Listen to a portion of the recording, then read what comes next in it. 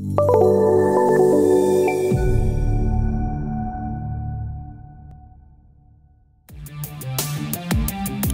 lagi di berita seputar sepak bola dan Arema. Hasil pertandingan Piala Menpora 2021 Arema versus PS Tira Persikabo. Laga perdana Arema versus PS Tira Persikabo di grup A Piala Menpora 2021 pada hari Minggu 21 Maret 2021 sore berakhir dengan skor imbang. Bermain di Stadion Manahan Solo, kedua tim berbagi satu angka setelah laga berakhir dengan skor satu sama. PS Tira Persikabo mampu unggul terlebih dahulu di babak pertama. Ahmad Nufiandani mampu mencetak gol ke gawang skuad Singo Edan pada menit ke-11.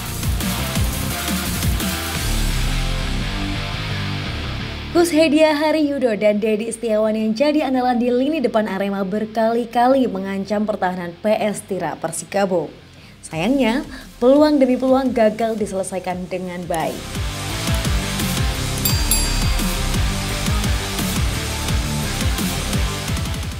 Sebelum babak pertama berakhir, Arema sempat mengganti back sayap kanannya.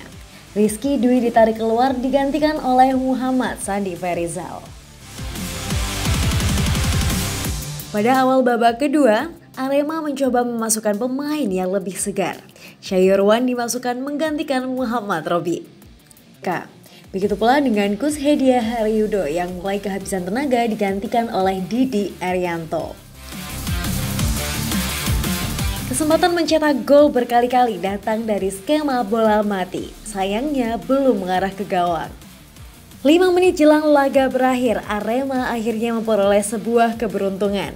Sebuah sapuan di dalam kotak penalti justru membuat bola membentur kepala Dendi Santoso dan mengarah ke gawang PS Tira Persikabo tanpa diduga semua pemain.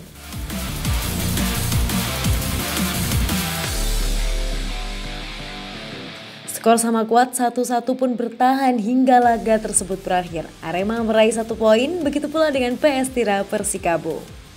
Jangan lupa untuk terus saksikan pertandingan Arema selanjutnya melawan Barito Putra di Piala Menpora 2021.